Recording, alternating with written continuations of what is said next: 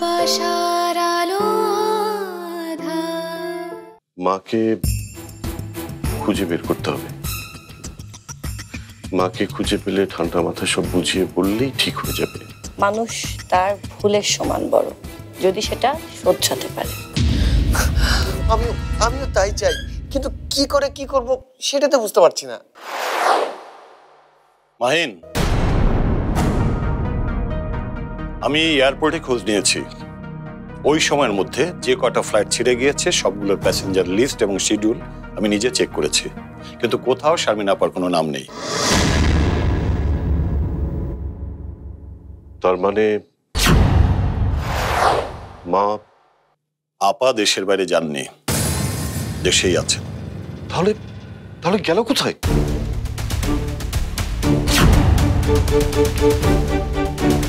তাহলে গেল কোথায় ও মাই গড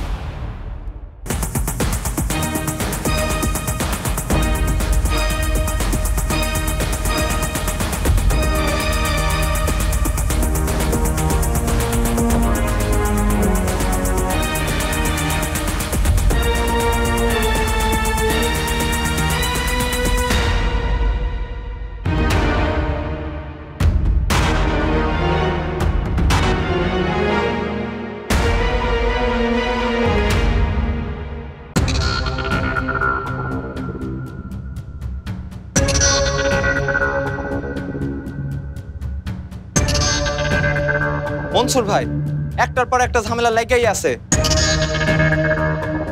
ওই শাইন শার্টটা না আবার কোনো প্যাচ লাগায়। দেখ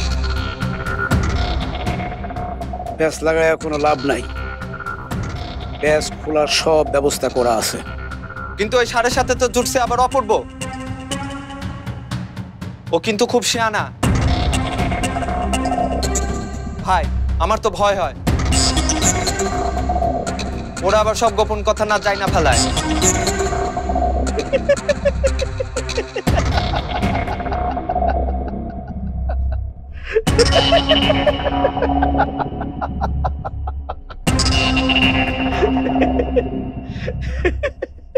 আপনি হাসতেছেন, আর আমি আছি টেনশনে।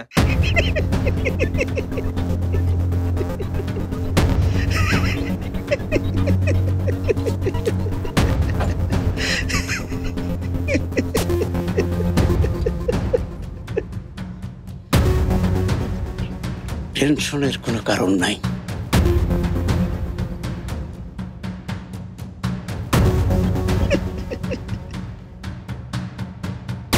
সব কিছু ঠিক হয়ে যাইব। এ কবে থেকে কইতাছেন? টেনশন না করতে। টেনশন না করে তো উপায় নাই। আর কত? আর কত পলায় থাকব এভাবে? আর বেশি দিন না। নতুন করে গুটি সাজানো আছে। নতুন করে চাল দিতে হইবে। এক একটা চাল এক একটা ক্ষত আবার নতুন খেলা নতুন করে কারবারি করতে হইব। আমাকে আর কিছু করণ লাগবো না। মানে? কে করব?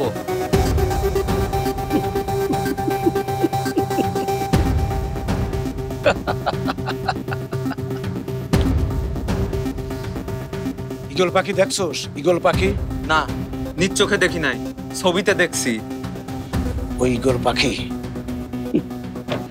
ইগল পাখি অনেক উঁচু থেকে শান চোখ দিয়া শিকারীকে দেখতে পায়। মক্ষম সময় বুঝে স্যাঁত করে নিচে চলে আসে। চোখের পলকে শিকারীকে ধরে নিয়ে স্যাঁত স্যাঁত করে উড়িয়ে চলে যায়।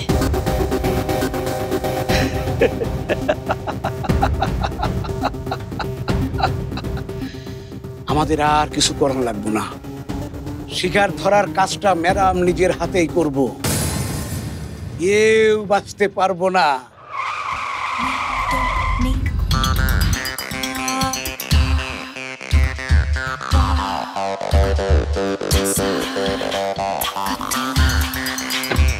Take my say,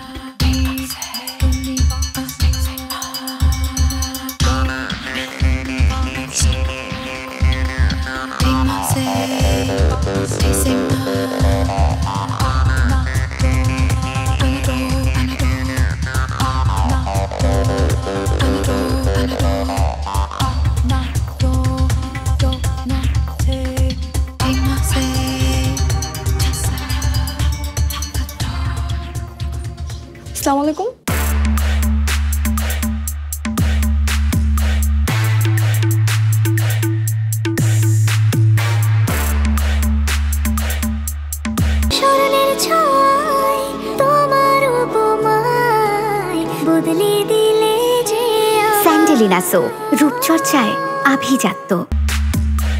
আমি রাইসা শারমিন ম্যাডাম আমাকে আসতে বলেছেন। তার মানে আপনি বলতে চাচ্ছেন শারমিন ম্যাডাম আপনাকে পাঠিয়েছে তাই তো? কিন্তু এর প্রমাণ কি? প্রমাণ? না আমি কিছুই বলতে চাই না। কারণ মুখের কথার কোনো দাম নেই। বাট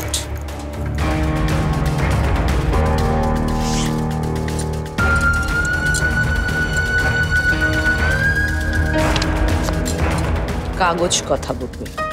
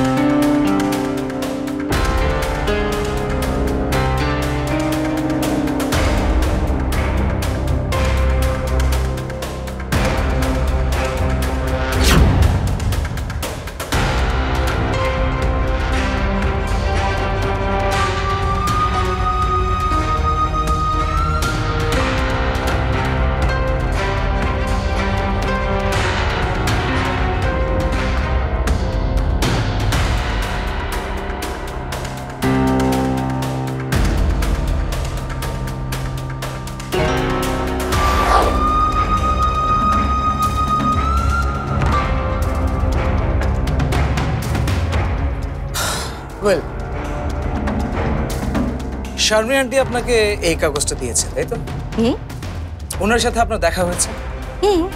উনি নিজে আপনাকে কাগজটা দিয়েছেন? নিজ হাতে রাইট রাইট ইসমাইল সাহেব মাহিন ব্যাপারটা কত সহজ তাই না?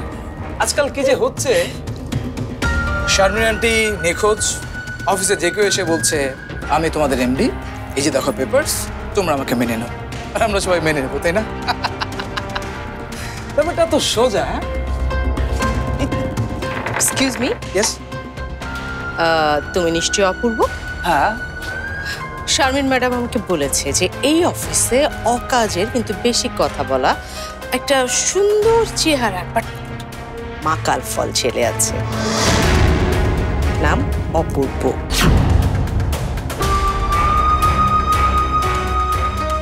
স্মাইল শেখ আমি কি ঠিক আছি?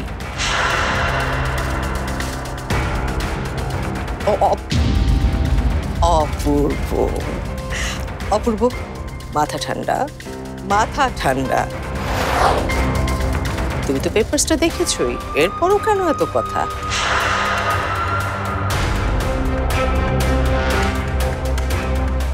আর হ্যাঁ যদি তারপর কোনো সন্দেহ থাকে, মাহিন প্লিজ ওকে আরেকবার পেপারসটা দাও। ও কেমন যেন অশিক্ষিতর মতো কথা বলছে। আরেকবার দেখি নিক না। একটা পাওয়ার অফ অ্যাটর্নের কাগজ পড়তে পিএইচডি করতে হয় না। একটা কাগজ দেখে কেউ এমডি হতে পারে না। এটা বানানো যায়। আপনি আমাদের অফিস থেকে বের হন, তারপর গলির মাথায় যান। ফটোকপির দোকানে আপনি নিজেও এরকম একটা বানাতে পারবেন। এবং আপনি সেটা বানিয়ে নিয়ে এসেছেন, তাই না? এটা একটা বানানো কাগজ রাইট মাহিন তুই আমার সাথে পুলিশ স্টেশন চল। স্মরণের ছয় তোমার উপমায় বদলে দিলে যে স্যান্ডেলিনা সো রূপচর্চায় আভিজাত্য। পুলিশ স্টেশনে পুলিশকে খবর দিলে সব কিছু বেরিয়ে যাবে।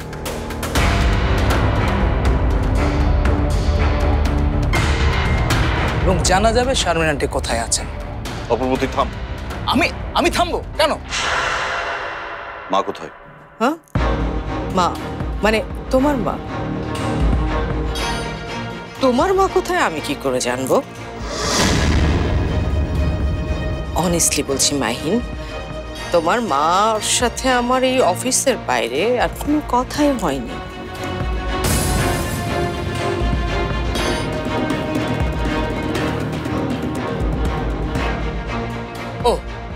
এই অফিসের ব্যাপার ছাড়া আপনার সাথে আর কোনো কথা হয়নি, তাই তো? শুনুন, এই অফিসে এমন কিছু হয়ে যায়নি যে যে কাউকে ধরে এনে এখানকার এমডি বানাতে হবে। আর যদি সেটা বানায়, সেটা আপনাকে কেন বানাবে? আপনি কে বলুন তো? আপনি কে?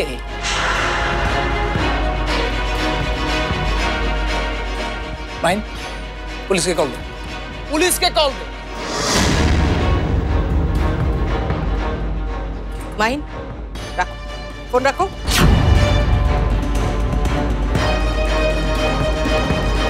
রাখো।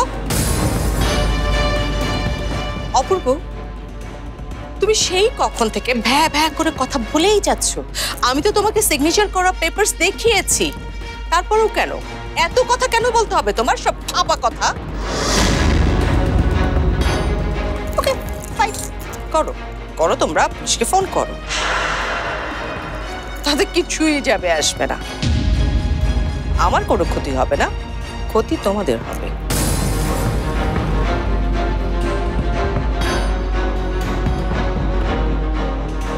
সবাই জেনে যাবে, শারমিন ম্যাডাম নিখোঁজ।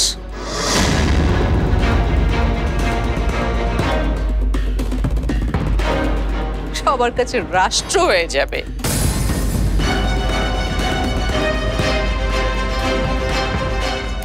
ঠিক হবে? হ্যাঁ? তাতে কি সুনাম বাড়বে? না না না না একদম না। না আমার মনে হয় একদম সেটা ঠিক হবে না। আমার মা কখনোই এমন কাজ করতে পারে না। আমাকে না বলুক ইসমাইল সাহেব আছে। অপূর্ব আছে। কাউকে কিছু না জানিয়ে আমার মা এমন সিদ্ধান্ত কখনোই নিতে পারে না। অসম্ভব। অসম্ভব আসলেই অসম্ভব। তোমার মাকে তুমি কতটুকু ছিল হোয়াট আদৌ কি চিনো? যদি চিনে থাকো তাহলে তুমি যা বলছো তাতে তো শারমিন ম্যাডামের চিঠি লিখে নিরুদ্দেশ হবার কথা না। তাই তো? কিন্তু তিনি তা করেছেন। ও মাই গড মার চিঠির কথা আমি জানলেন কীভাবে? আশ্চর্য। শারমিন ম্যাডামের কোম্পানি। শারমিন ম্যাডাম ডিসিশন নিয়েছেন। শারমিন ম্যাডাম যাকে যোগ্য মনে করেছেন তাকেই দায়িত্বটা দিয়েছেন। এখন তোমাদের দায়িত্ব কি? শারমিন ম্যাডামের সিদ্ধান্তকে সম্মান জানিয়ে আমাকে এমডি হিসাবে গ্রহণ করা। তুমি, নন্দিনী, কি মিষ্টি মেয়েটা। আসো তো নন্দিনী, আসো, তুমি আসো আমার সাথে। তুমি আমাকে এই অফিসের সবার সাথে পরিচয় করিয়ে দিবে।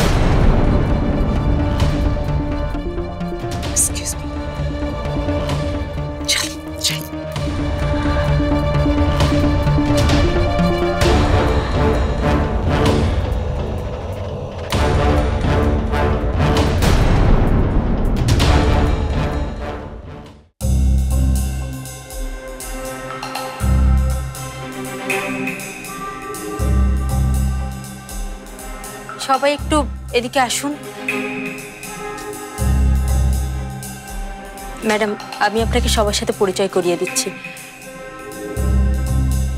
উনি হচ্ছেন আমাদের আমি- নতুন আমি পরিচয় দিচ্ছি। আমি হচ্ছি তোমাদের নতুন এমডি।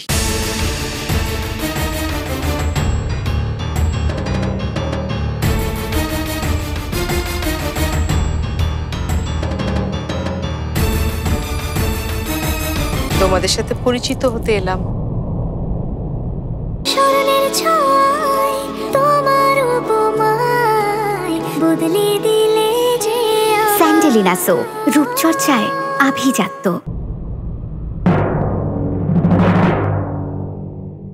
ভালো আছো নিশ্চয়ই তোমরা সবাই? এই যে মিষ্টি মেয়েটা। কি নাম তোমার? আমি তানি। তানি। তা তানি তুমি কোন সেক্টরে কাজ করছ? আমি ক্লায়েন্ট সার্ভিসে আছি। ক্লায়েন্ট সার্ভিস তার মানে তোমার কাজ অপূর্বর সাথে। হ্যাঁ অপূর্ব ভাই আর নন্দিনী দুজনের সাথেই আছে। তুমি? ম্যাডাম আমি প্রিয়ন্তী। আমিও ক্লায়েন্ট সার্ভিসে আছি। That's great Apurba. তুমি? আহ, আমি দীপন। আমিও তানির সাথে ক্লায়েন্ট সার্ভিসে আছি। আর আমার সাথে আরেকজন আছে উনি সোহান। উনি আজ স্টেশন লিভে আছে। স্টেশন লিভ করেছে না?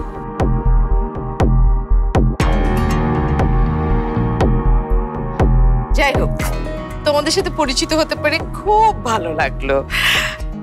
আমি আসলে জানি না যে তোমরা এর আগে কীভাবে কাজ করেছ, তবে গ্যারান্টি দিতে পারি, আমার সাথে কাজ করার অভিজ্ঞতা তোমাদের জন্য একদম অন্যরকম হবে।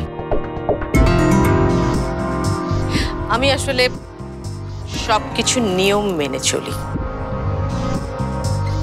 নিয়মের বাইরে চাই না, যাওয়াটা পছন্দও করি না।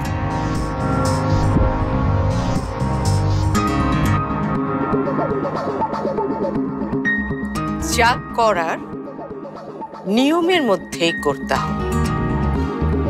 যদি আমার সাথে কাজ করতে হয়,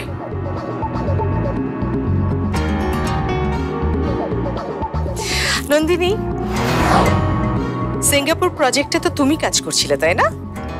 জি। আমি মানে তা- তা, তানি।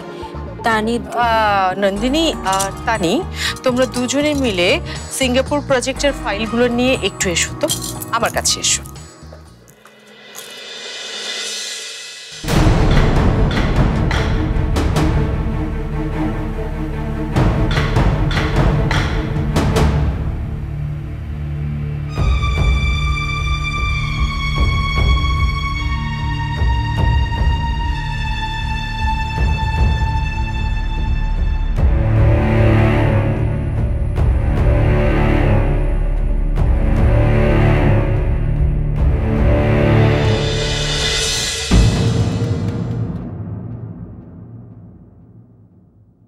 এমন হচ্ছে মহিলার মধ্যে কোথাও একটা ঝামেলা আছে।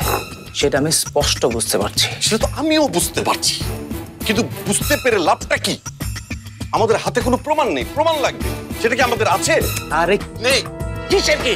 ওকে এখন এই অফিস থেকে ঘাট ধাক্কা দিয়ে বের করে দেওয়া উচিত? এবং সেটা আমি করব এই অপূর্ব করবে। তুই দেখবি না? আমি যেতে করছি না। প্লিজ চলো। চলো তো চলো। না জামা পড়ো আসো আসো। জ্যোতি আরে বাবা বলছি আমি যাব না তো যাব না বাস আমি সেই কখন থেকে মাহিনের সাথে কথা বলছি। আর তুমি কি করছ? এই কথার মধ্যে একের পর এক একের পর এক উত্তর দিয়েই যাচ্ছ।